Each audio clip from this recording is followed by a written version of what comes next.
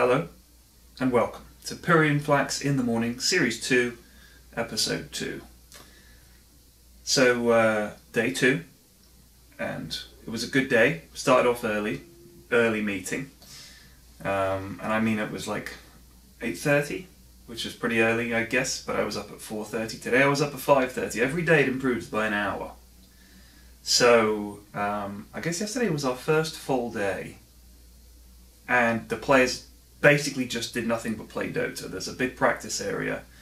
We had the meeting where they were told about their responsibilities for TI4, um, and then they all just scrimmed and played, and it should be good. All the games are streamed in the dining room downstairs. We talked about multicast, which should be good. Uh, basically, it's uh, is it called Red Zone, an NFL thing? Anyway, I don't I don't watch the NFL live so much. I tend to watch highlights and stuff in the UK. But Bruno is going to be whichever guy does that for the NFL is going to be like that. It's going to be quite tough for him, but he's going to do it, and we're going to drop in like random people going to drop in. Should be really good. Um, we went to Safeway. Safeway used to exist in the UK. I think it was eaten by Morrison's, um, and now it's a really nice supermarket over here. But I got fucking ID'd buying a crate of PBR. I know PBR, buying PBR will offend a lot of people, but uh, I like bad beer. I do. I like beer that's basically just alcoholic, sort of sweet, slightly sweet water. That's why I like cheap cider as well. Um, yeah, all that really heavily flavoured beer is just. I'm sorry, guys. I know I've lost a lot of respect already, but I've lost even more. But I'm, I'm not a fan of it. But anyway, so uh, yeah, I got ID'd. She's like, "Do you have any ID?" I said, "No, because I'm fucking 38. Like, look at my face and the wrinkles and the grey hair. I have pictures of my kids on my phone. What 20-year-old do you know does that?" Uh, and she said, uh, "I'm sorry, sir. We have to ID everybody that looks under 40." I said, so basically, it, they, they, they don't give their, their cashiers anything less than a 20 year gap of people that say anyone that looks within 20 years of being illegal, you card them. Because God forbid that we should sell booze to someone who's not 21. Fucking ridiculous. The casting schedule morning games will be handled by myself, uh, Blitz, and, and Shane, and afternoon or, or early morning, sort of late morning games, whichever one, how it works out, will be handled by uh, Sunsfan and Purge. Um, we're really looking forward to it. Um, I've come up with a few uh, names for the, the stream, because so far they're calling it the newbie stream. That's got to change. Um, the noob tube, I thought sounded better than the newbie stream because it's alliterative. The casual clusterfuck, um, or uh, the Pyrion Flax show. See how it fits. Just wear it, walk around in it.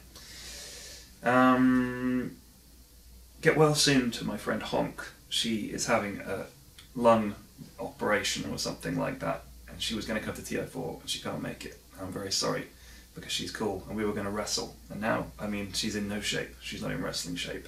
If I sound a little fragile, it's because we had a, the what they call the players' dinner, uh, but commentators and casters and, and people like that were invited as well at uh, the Gaucho here in, in Bellevue, uh, and it was free cocktails. And I may have had a few too many margaritas, um, uh, but it was fun. Had a really good time. Learned some stories about Volba that if I told them, I think um, he'd probably. Well, I wonder if there's one I could tell. What do you think? What do you think, Sam? Could I tell the one about? Uh, Actually, probably not. Probably best not.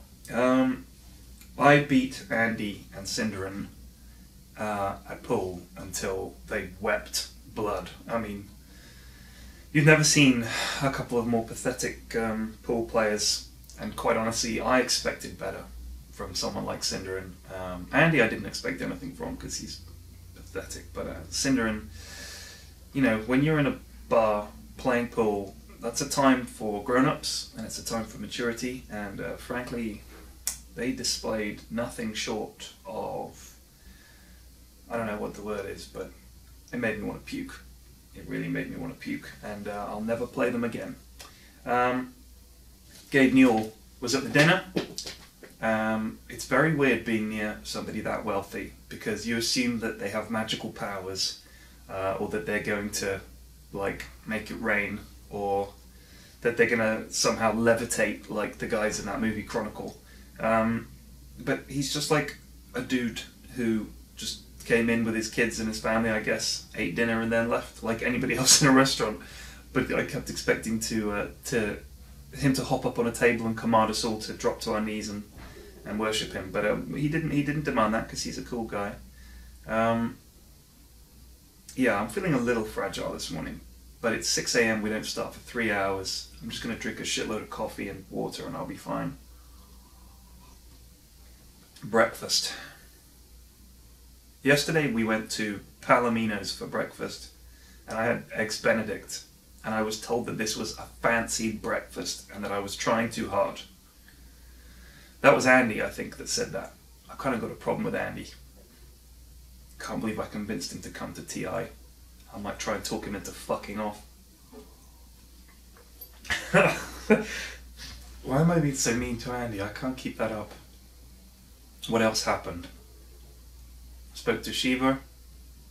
I learned some awesome cuss words. Spoke to Blitz. He's nervous about the cast. He should be. Oh, that's the fridge. If you heard something just tick into life. because I bought a crate of beer, Purge said to me, You know, you can ask the hotel to bring you a fridge.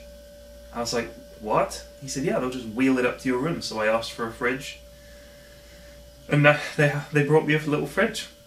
And uh, the only bad thing is, I was taking a poo when the guy tried to deliver the fridge. So he knocked on the door, and I said, Who is it? And he didn't answer. And then he knocked again.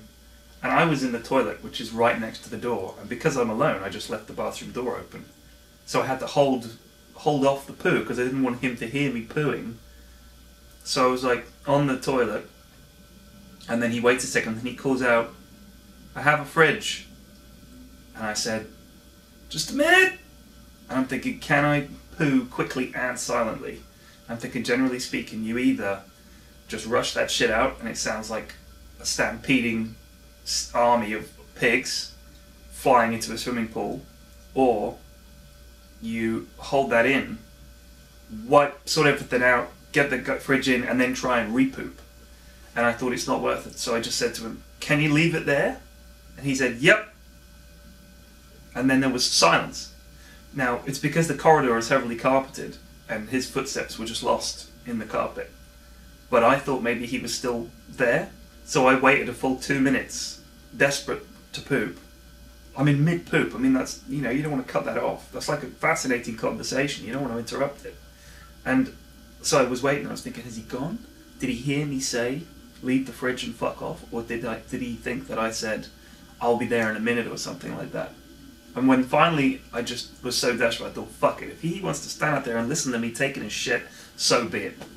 And uh, of course, he, he'd long gone. But um, the fridge is good, but the poop was, was less than satisfactory as a result. Chests. Not these kind. The kind that you can uh, open.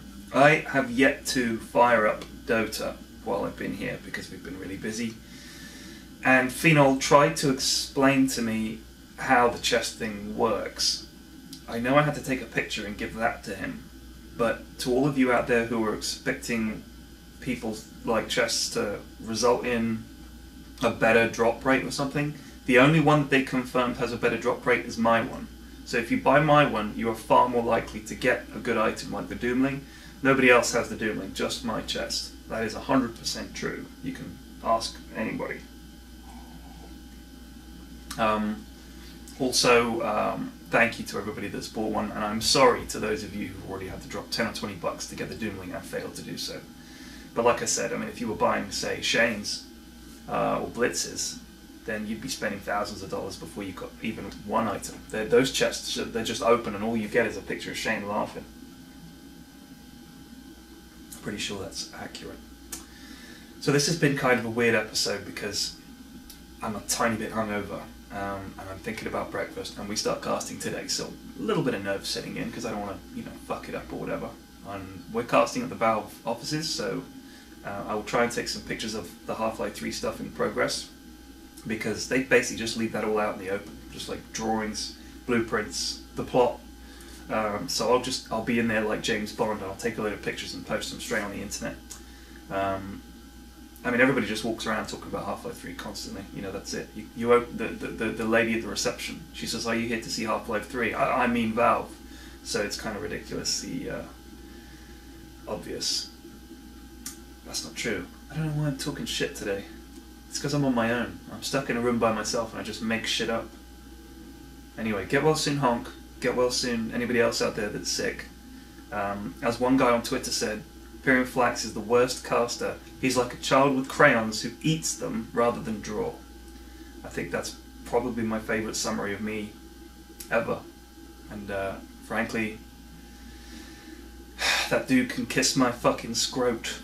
So yeah, good luck to that guy kissing my balls. Bye guys.